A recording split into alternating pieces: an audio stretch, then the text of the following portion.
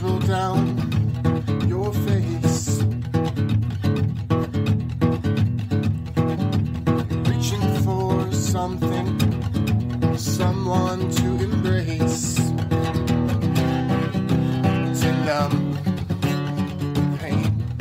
Welcome to Sobriety Checkpoint. I'm your host, Felicia Hermley. I'm a 12 stepper turned therapist. I'm married and I have two littles under five. I love Jesus, but have had my fair share of struggling with church culture and religion. I know what it's like to be stuck in a restless, irritable, and discontent rut, drunk and sober. In this podcast, you're going to find solutions to navigating mental health, spirituality, and relationships to experience the peace you've been craving. It's time for that desperately sought after solo Target run. Grab your keys and let's go for a drive. There's no judgment or breathalyzer at this sobriety checkpoint. Thanks so much for coming back this week. Welcome back to another episode of Sobriety Checkpoint. The last week or so, I have been kind of sick with a cold. There's been a cold coming through my house, and um, hopefully, it's not turning into a sinus infection. But if I sound a bit under the weather tonight, that is the reason why.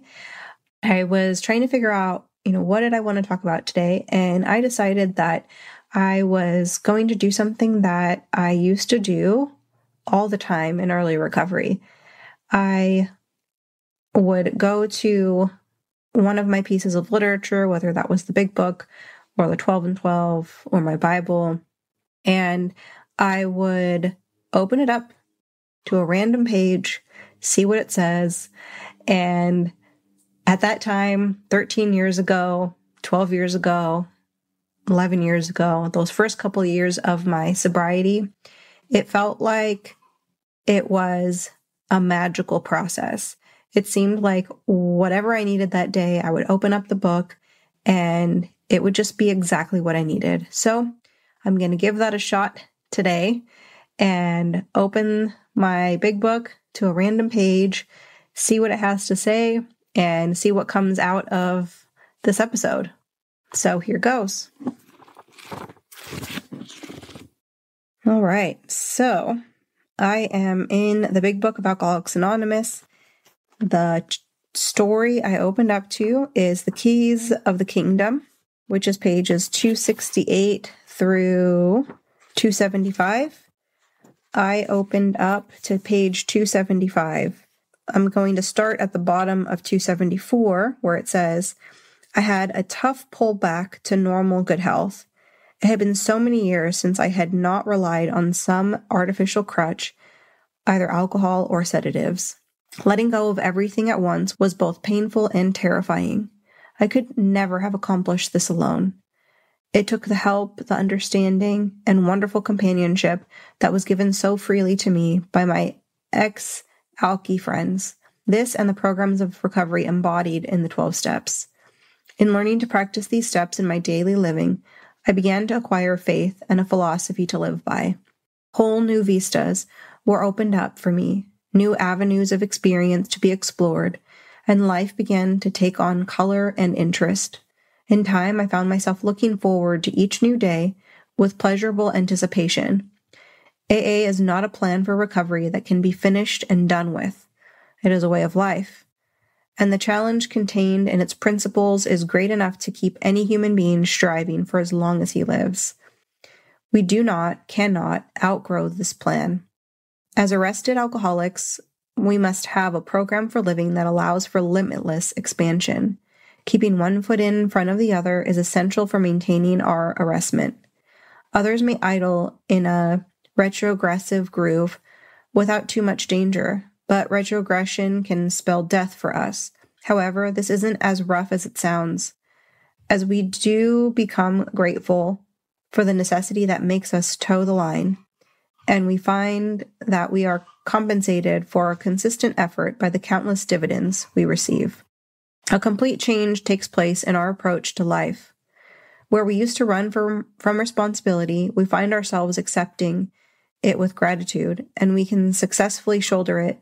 Instead of wanting to escape some perplexing problem, we experience the thrill of challenge in the opportunity it affords for another application of AA techniques, and we find ourselves tackling it with surprising vigor.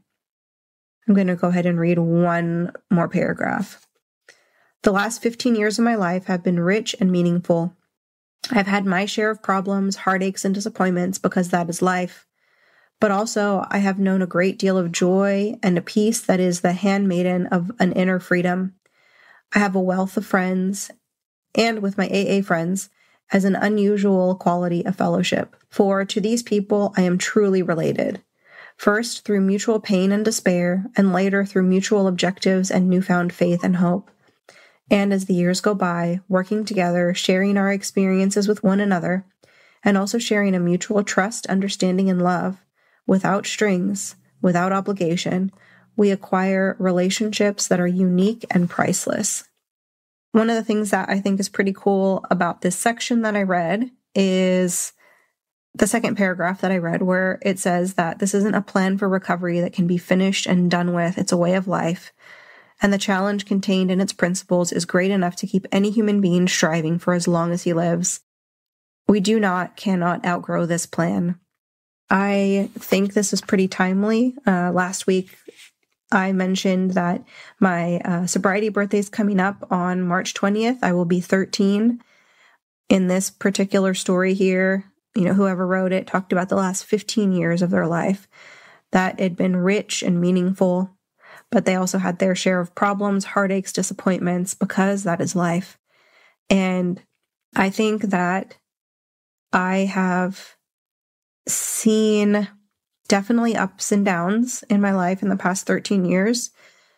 The crazy thing, though, is that overall, life has been just so much better than it was before sobriety.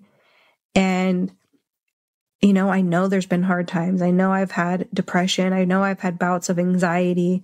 I've had struggles. I've had issues with things like imposter syndrome, issues with, you know, just low self esteem and times of feeling alone. And I don't know, it's interesting because I actually feel like I'm searching for the hard times right now. I mean, it's life. So there have been hard times. There have been hard times. I think my very first episode, I talked about the struggles that I had with postpartum anxiety and depression. And being a parent has been the most wonderful thing that I've ever done and the absolute hardest thing that I've ever done. The constant second guessing, self judgment, constantly questioning if I'm doing this thing right. Those things are hard. And then at the same time, when I'm able to take a step back and just rest, look at their smiles, look at their joy, look at what they bring to life, how they show up. I mean, there's so many there's so many lessons in that. But I really am struck a bit with the thought of feeling like I'm searching a bit once again for the hard times. Like I mentioned, you know, there have been, but compared to the absolute despair that I experienced prior to my sobriety, I mean, life is good compared to how it was the despair, the desperation that I experienced. It's interesting bringing that word up, desperation, because I think that the desperation I experienced in my active drinking was a place I needed to be in order to get to the place of breakthrough, the place that I was able to encounter my higher power and let him in, you know, encounter my higher power and let him take the wheel. That that place of desperation was absolutely necessary for me to get to the point of surrender. And just this weekend, when um, we went to church, that was actually the the sermon was about desperation. It was about the gift of desperation, and I don't think I've ever heard that as a sermon before in church. It's a topic that I've heard in meetings. It's something that I think we know in the rooms, we know the importance of the gift of desperation. We know that it's a gift. We know that it's something that we need to come back to when we're starting to feel like life is so good that we forget how it was. I mean, I think that that's one of the reasons why it's so important for me to not get too far away from meetings to make sure that I stay connected because I need those reminders. I need to hear other people's stories because I need to remember how it was. I need to remember the desperation. And whenever I'm in this place of remembering the desperation, I'm just overwhelmed with gratitude. And I hope that I am able to keep that gratitude and remember that, that gift that I received. I'm definitely feeling super grateful. It's it's amazing uh, the gifts that this program has given, and I would have to say that peace is the biggest one. That my sobriety has given me peace. My relationship with my higher power has given me peace, even through times of intense anxiety throughout the years. Overall, the peace has just been amazing.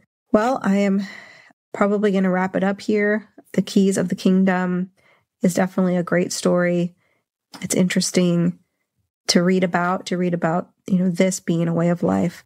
Um, I'm super grateful for it. I'm glad that my uh, higher power brought me into the rooms to be able to experience this beautiful fellowship to that that I'm a part of to be able to experience relationships in a way that I never had had before before 13 years ago. So, yeah, super stoked. Yeah, next week I'll be celebrating 13 years of sobriety on Wednesday, the 20th. And my husband, Jeff, he'll be celebrating 13 years of sobriety on Thursday. I hope that you'll come back next week because next Thursday he will be sharing his story about what it was like, what happened, and what it's like now a few other things that are going to be coming in the next few weeks.